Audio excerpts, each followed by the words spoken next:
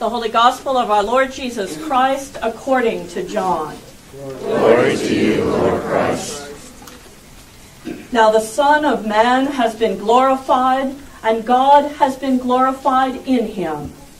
If God has been glorified in him, God will also glorify him in himself, and will glorify him at once.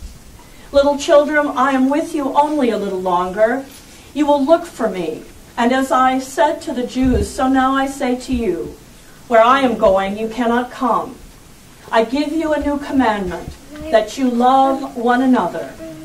Just as I have loved you, you also should love one another. By this, everyone will know that you are my disciples, if you lo- have love for one another. The Gospel of the Lord. Praise to you, Lord Christ.